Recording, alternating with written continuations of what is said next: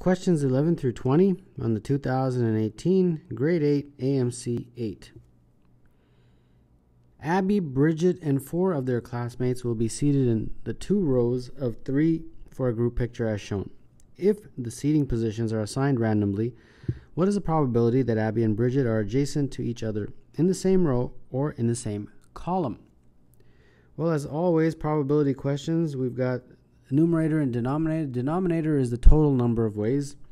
So that's going to be 6 times 5 times 4 times 3 times 2 times 1. We Got six choices for this, then five for that, three for that, two for that, and and, and so on. So it's actually six, five, four, three, two, one. Now the numerator is our specific condition, which is that Abby and Bridget have to be either beside each other in the same row or uh, one in front of each other in the same column, I guess. Okay, well, how many ways of doing that? They can sit like this. So A can be like this, AB, or you can have BA. Very similarly, if they're going to be in these two, it could be AB or it could be BA. All right. So that is going to be very similar here. A, B, B, A, or A, B, B, A. So that gives me one, two, three, four, five, six, seven, eight. So we'll put that 8 there. Now we have to talk about the ones where they're in different uh, rows but same column. So it could be like AB or BA.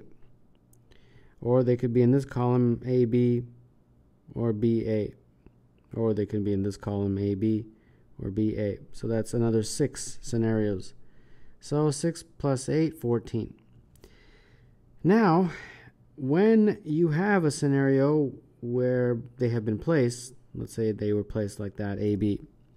We also have to take into consideration the other people, friend, the other four friends. And those are placed 4, 3, 2, 1. So it's this 14 and then multiplied by 4 times 3 times 2 times 1 like that and therefore this reduces to 14 over 6 times 5 which is 30 and that's 7 over 15. And therefore, number 11, the answer is C. The clock in Sri's car, which is not accurate, gains time at a constant rate. One day, he, as he begins shopping, he notes that his car clock and his watch both say 12. When he is done shopping, his watch says 12:30 and his car clock says 12:35. Later that day, Sri loses his watch he looks at his car clock and says it's 7 p.m. And what is the actual time? So we have a watch and then we have a car clock. Now, the watch says 12:30 when he looks at it, and then the car clock says 12:35.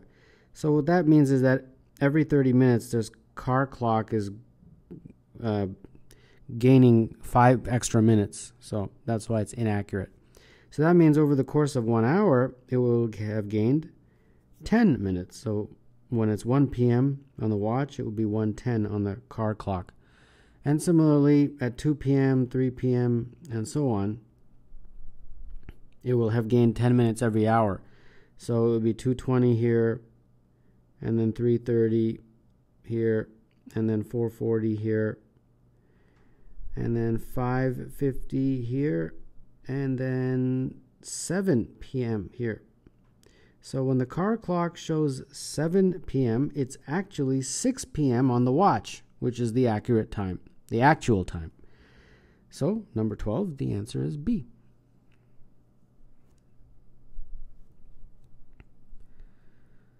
Layla took five math tests, each worth a maximum of 100 points. Layla's score on each test was an integer between 0 and 100 inclusive.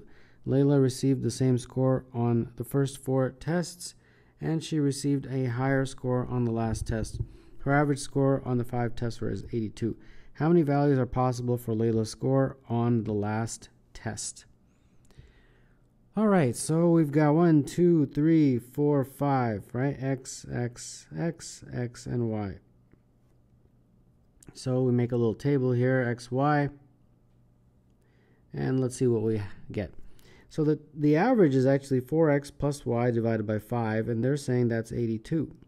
So that means 4x plus y has got to be 82 times 5, which is 410.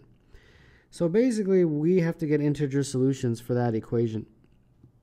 All right, when y is 100, that's the highest it can be. I get 77.5. That's not an integer. When it's 99, we get 77.75. Again, not an integer. When it's 98, we get 78. Okay, great. That's an integer. So here's one solution. 97, we get 78.25. 96, we get 78.5. 95, we get 78.75. And 94, we get 79. So it looks like we get integer values every time we go down by 4. So let's just go down by 4 instead of wasting time. This will be 80, and then 86, it will be 81, and then 82, it will be 82. Okay, so the last score is higher than the others, right? She received a higher score on the last test. So that means y has to be greater than x. So this solution is invalid. So the only valid ones is this one, this one, this one, and this one. So four, four of them. So four possible values for Layla's score on the last test, namely 98, 94, 90, and 86. So number 13, the answer is A. Let n be the greatest five-digit number whose digits have a product of 120. What is the sum of the digits of n? Well, the first thing to do is take 120 and break it up into its prime factors. It is 2 times 2 times 2 times 3 times 5. Then we have to create a five-digit number so that when you take those digits and multiply them together, it equals 120. Well, one obvious one is just to put those numbers, 5, 3, 2, 2, 2, in a way so that it's the greatest. We want to make the number as big as possible. Okay, I don't think this is the right answer, but let's just see what happens. We want to figure out the sum of the digits. Okay, the sum of the digits would be 5 plus 3 plus 2 plus 2 plus 2, and that is 14. Well, that's not even one of the answer choices, so definitely that's wrong. But I just wanted to illustrate how this question would work. So now we got to go back and think, okay, how can I make a big number, well, as big as possible, so that when the digits are multiplied together, it adds up, uh, it has a product of 120. Well, what's the largest digit I can put there? The 9, but I can't make a 9 from this in any way. But I can make an 8. 2 times 2 times 2. That's an 8. And then after that, I don't have much left. I only have a 3 and a 5. And if I multiply them together, I get a 15. Obviously, 15 is not a digit. So I'll just put the 5 here and the 3 here. And they say, well, what about these guys? I don't have any numbers left. Well, I just put a 1. So first, test it out. 8 times 5 times 3 times 1 times 1 is indeed 120. Of course, it would be. And now we just have to figure out the sum of the digits. So it would be 8 plus 5 plus 3 plus 1 plus 1. And that is 18. And therefore, number 14, the answer is D.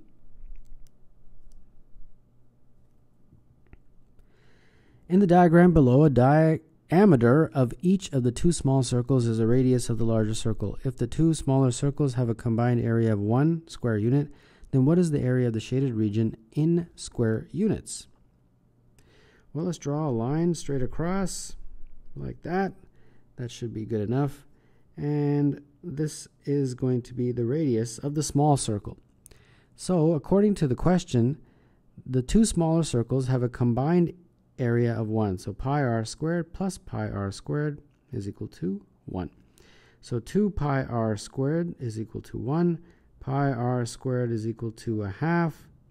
And therefore, r is equal to 1 over 2 pi, and finally r squared that is, and then finally r is equal to 1 over root 2 pi. All right. Now we have to figure out area of the shaded region. Area of the shaded region is, of course, the area of the big circle, which is pi.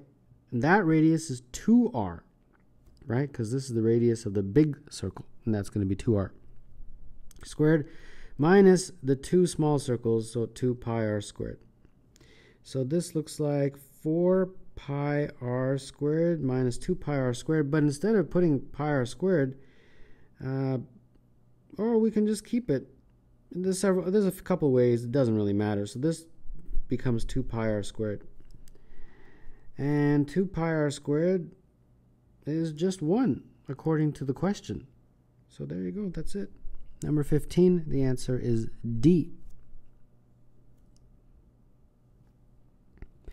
Professor Chang has nine different language books lined up on a bookshelf two Arabic, three German, and four Spanish. How many ways are there to arrange the nine books on the shelf, keeping the Arabic books together and keeping the Spanish books together? We will treat the two Arabic books as one unit since they have to be together. We will treat the four Spanish books as one unit since they have to be together, and the German books can be separated. So it really boils down to a scenario of placing five uh, units in five slots. The, that's sort of the, I guess, the summary. Well, five ways of placing, uh, uh, I guess, a an item in that slot then four ways there, three ways there, two ways there, and one way there. You multiply them all, and you get 120. But 120 is not one of the answer choices. The answer choices are far greater. Why is that? Well, 120 is fine. That's perfectly fine. But then we also have to take into account that these Arabic books, if let's say the first book was A1 and A2, they have two different ways of being arranged, like that. So you have to multiply by 2. And then these four Spanish books, S1, S2, S3, S4, have 24, 4 times 3 times 2 times 1 permutations, which is 24. So we got to multiply by 24. So this is the product. 120 times 2 times 24, and that is 5760. So number 16, the answer is C. Bella begins to walk from her house toward her friend's Ella's house. At the same time, Ella begins to ride her bicycle toward Bella's house. They each maintain a constant speed, and Ella rides five times as fast as Bella walks. The distance between their houses is two miles, which is 10,560 feet, and Bella covers two and a half feet with each step. How many steps will Bella take by the time she meets Ella? All right. So we'll draw a little graph here and off we go. So we have Bella and Ella. And let's just say they meet here. So this distance I'll call A, and this distance I'll call uh, 10, 5, 6, 0 minus A. And the time that they meet will be equal. So time for Bella is the time is for Ella. And speed is equal to distance over time, as always, therefore time is equal to distance over speed. So this is distance of Bella over the speed of Bella, and this is the distance of Ella over the speed of Ella. So the distance for Ella is A, and her speed, uh, it, we don't know the speed, but we know that she, in comparison to Ella, Ella rides five times faster as Bella walks. So if her speed is x, then Ella's speed will be 5x. And then dE is 10, 5, 6, 0 minus 8. Okay, well, the good news is the x's cancel. I can cross multiply and just get 5a is equal to 10, 5, 6, 0 minus a. So therefore, 6a is equal to 10560. And dividing through, we get a is equal to 1760. So that is how many feet. But we want to figure out how many steps. Well, each step is two and a half feet. So we take the 760 and divide by 2.5, and when you do, you get 704, and that represents the number of steps. So number 17, the answer is A. How many positive factors does 23,232 have? 2, 3, 2, 3, 2. Well, when you break this up into its prime factors, it's 2 to the power of 6 times 3 to the power of 1 times 11 to the power of 2.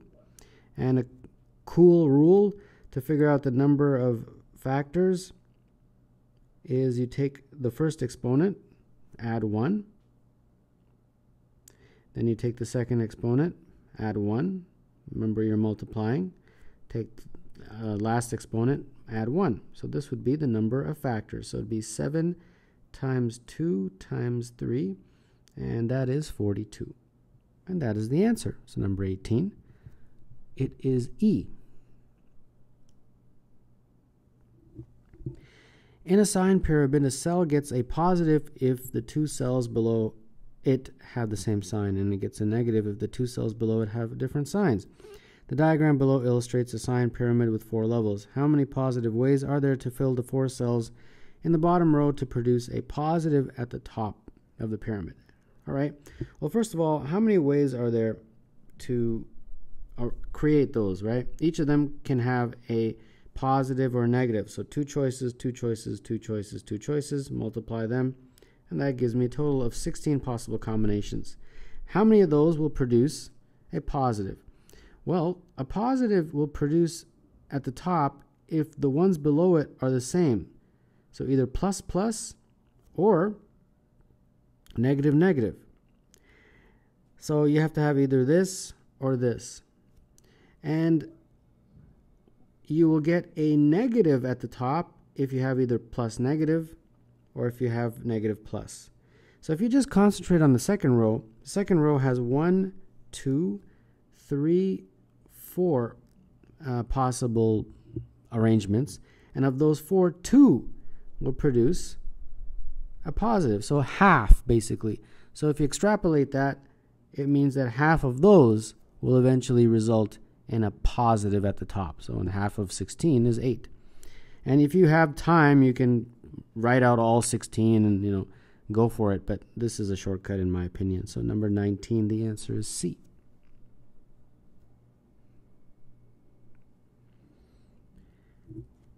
In ABC triangle, Point E is on AB with AE equal to 1 and EB equal to 2. Point D is on AC so that DE is parallel to BC and point F is on BC so that EF is parallel to AC. What is the ratio of the area of CDEF to the area of ABC? Well, I will show a hopefully a very helpful shortcut. Draw a line from F to the other side so that the line is parallel to AB and then draw a similar line from D to the other side so that D to the other side makes a parallel line. And then you can connect this all the way to the other end so that that line is parallel to CB. And then finally connect this to there so that that line is parallel to C8 like that. And then now you'll notice that all of these are equal triangles. And therefore, the ratio of CDEF to ABC can be calculated very quickly. CDEF would be 1, 2, 3, 4 of those triangles, and ABC is the whole thing, which is 1, 2, 3, 4, 5, 6, 7, 8, 9. And there you go, 4 over 9. So number 20, the answer is 8.